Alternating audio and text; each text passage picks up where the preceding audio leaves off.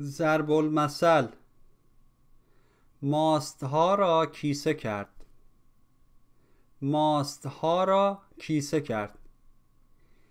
این اصطلاح به معنی جا خوردن ترسیدن از تهدید کسی کوتاه آمدن و یا دست از کار خود برداشتن است.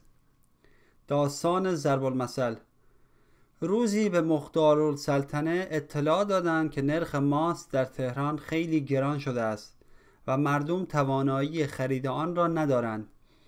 مختار السلطنه دستور داد تا ماست را ارزان کنند.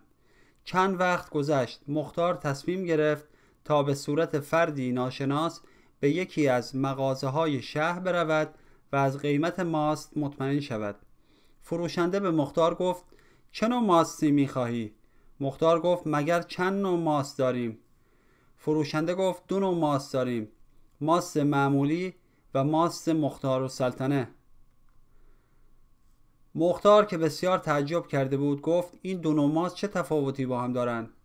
فروشنده گفت ماست معمولی ماستی است که در آن آب ندارد و کیفیت بهتری دارد. ماست مختار و سلطنه دارای آب زیادی است و قیمت ارزانتری دارد. مختار که بسیار ناراحت شده بود دستور داد تا آن فروشنده را دستگیر و مجازات کنند.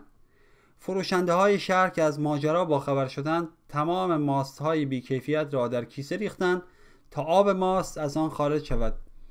از آن زمان ضرب المثل ماست ها را کیسه کرد رایج شد.